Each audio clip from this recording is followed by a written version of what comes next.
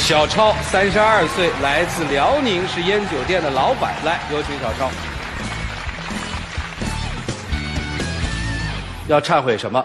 我现在有有两个女朋友，一个是老家的，嗯，订了婚的，嗯，但是没有领证；一个是我来了北京之后认识的，嗯，我现在和她在北京。谈了一个烟酒店，我想在北京继续生活下去，但是家里面父母不同意，要和我断绝关系。我现在不知道我该怎么办。好，挺坦诚，至少他坦诚。今天来寻求解决的方法，对吧？好了，接下来我们要请出他在北京的女朋友圆圆，来，有请圆圆。圆圆二十七岁，是江苏人，来，有请圆圆。欢迎啊！他是烟酒店的老板，你们俩是怎么认识的呀？他一开始不是烟酒店的老板，他来我们公司上班，我是保险公司的。他为人比较，呃，腼腆，比较诚恳，比较踏实那种，但是他开不了口。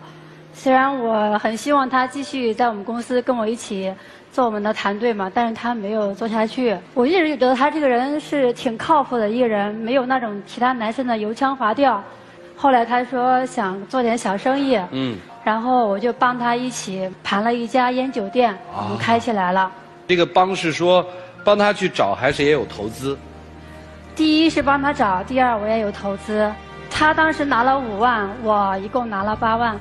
啊，你是八万？对。你大股东，你五万，你二股东是吧？我从家里带过来的，原来订婚的钱，然后。彩礼是那个以前那个。你们老家是女方给男方送彩礼吗？不是，我我送给女方的彩礼，然后她也还给我了。我们那在家里的时候，这面比较着急嘛，因为年龄也不小了，所以说都都急着忙着催着结婚。她是我一个朋友的妹妹，可以说家里的人都比较相中她，就催着订婚了。订婚之后呢，我一寻想，因为以后要是生活，因为。盖房子、结婚呐，需要用很多钱，我就我就商量和他说，我我到那个外面闯一闯，我就来到北京。那个彩礼钱是你们家给人家的钱，他又给你了，是吧？对，等于给了五万块钱的彩礼钱，你带着来闯北京了。三万，他自己攒了两万块钱也给我了。哦，就一个女孩把她自己攒的两万块钱和你们家给人家的聘礼钱都给了你。对。你什么时候知道他在家乡还订过婚？最近才知道。当初是我跟他表白的，但是他从来没有说这件事情。如果你当初早点说，我们不会有今天。但是这件事情既然已经发生了，如果你告诉我有一个明确的态度，你告诉我，你选谁，或者是你想怎么样，让我跟你一起面对都可以。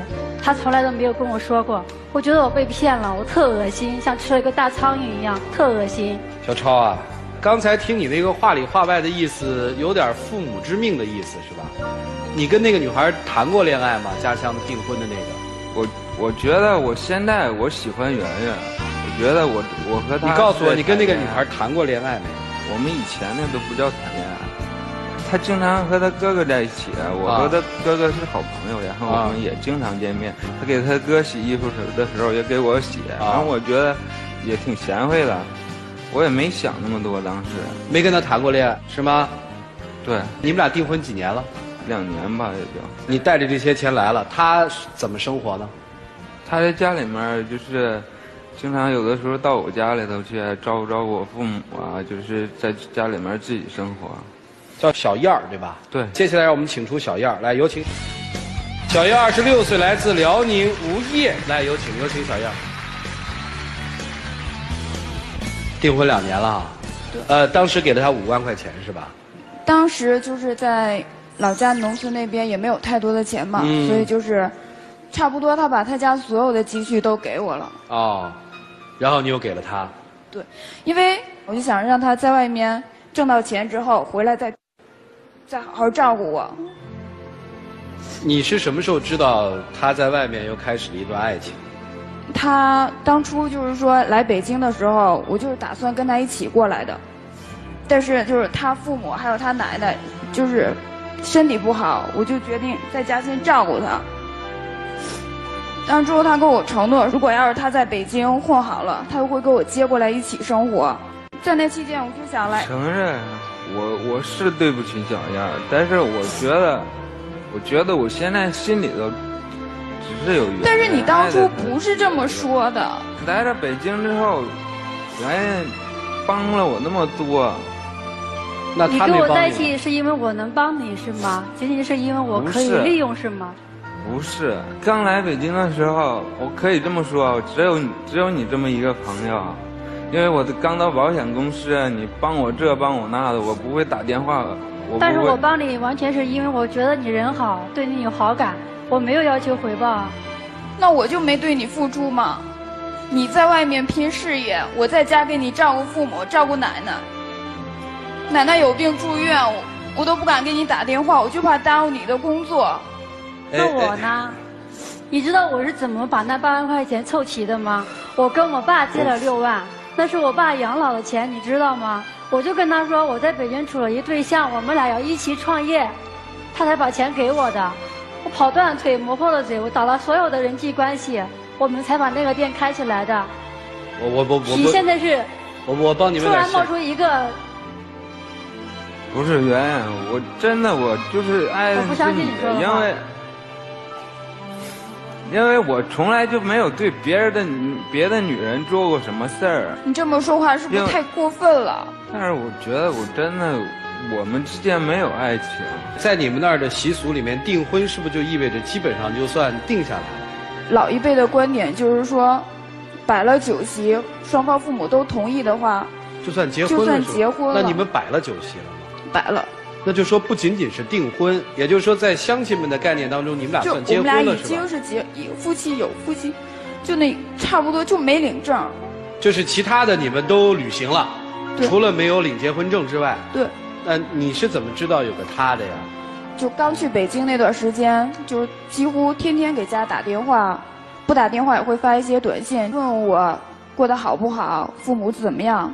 但是后来我就发现联系少了。那你现在知道了这个事儿，你打算怎么做？现在的想法，我就想让他跟我回家，因为他不跟我回家，我都不知道，我都没脸回去了。因为我现在名义上就是他的妻子，我我回去的话，如果我自己回去，我不知道我以后该怎么生活，谁还敢娶我？你觉得最好的结局是，他能回头跟你回家是吧？是那那些钱呀、店什么你还要吗？我不要了，从头开始。只要他跟那些钱都是我跟他一起打拼奋斗的。啊。嗯我跟他说了这件事情发生之后，我不要了。姑娘，不是说你什么？你要不要圆圆，根本就不你什么意思属于他？圆圆，你是怎么想的？当这个事情发生的时候，我跟他要他一个明确的表态，他从来都没有。这件事情让我特别寒心。嗯。那你现在打算怎么做？我还是我的观点，这个店所有的人脉关系，包括经营，都在我这里。那意思就是你不可能从我这里拿到什么东西。啊，我只想让你跟我回去，这些我都不在乎。听那怎么办？你不能这么拖着吧？两头耗。我的想法就是跟圆圆最后一去饽饽，嗯，你说这是一个多多让人恶心的事儿啊！骗人的男人可恶，出轨的男人可恨。骗人出轨之后，还突然告诉大家：“我知道什么是爱情了。”真是不要脸的人渣。在你心目当中，没有爱情，只有利益。你现在纠结什么呀？纠结到底是选小燕，利益最大，还是想选圆圆，利益最大？你这边既想得到现在在北京的一个发展，又担心后面的家庭会对你责备，还纠结什么呀？你心中已经有答案了。你就是选择那个能带给你来利益最大化的那个所谓的爱人，这就是你的爱情。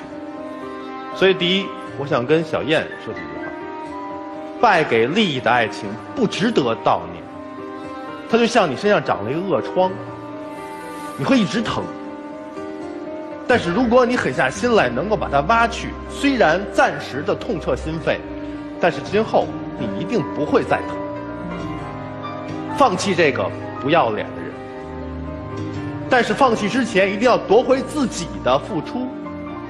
你借给他多少钱，该多少拿回多少。